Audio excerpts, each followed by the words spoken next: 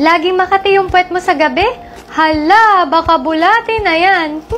Meron tayong tinatawag na Enterobis vermicularis o kilala sa pangalang pinworm or sitworm. Ito ay uri ng mga parasite na kadalasang naninirahan sa ating mga digestive system. Ito ay maliliit na worms na usually half inch long lang, kulay puti, at yung infection na kinukos nila ay tinatawag na enterobiasis or oxyuriasis.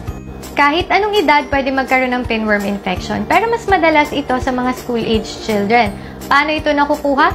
Via ingestion or minsan inhalation ng embryonated eggs. Kapag ikaw ay humawak sa surface na meron nito or nakipag-shake hands ka sa taong meron nito at nasubo mo ang kamay mo, maaari itong pumasok sa iyong katawan at maaari itong mag-hatch sa iyong intestine at lalaki.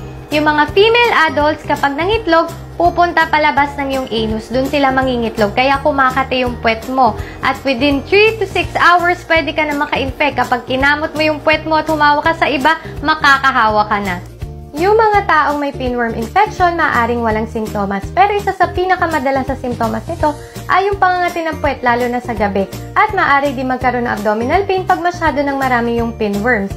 Paano ito na-diagnose? Meron tayong tinatawag na tape test. Sa umaga pagkagising, kumuha ka ng transparent na tape, idikit ito sa iba't ibang parte ng puwet. Pagkatapos ay ipasa ito sa doktor para masilip sa microscope kung meron kang mga pinworm eggs at mabigyan ka ng karampatang gamot.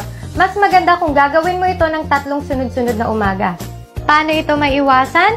Lagi kang maghugas ng kamay lalo na pagkatapos mag-CR, panatilihin maikli yung kuko at iwasan ng nail biting, mag-shower sa umaga, at maaari mong laban ang iyong mga damit gamit yung hot water. Okay? Ingat!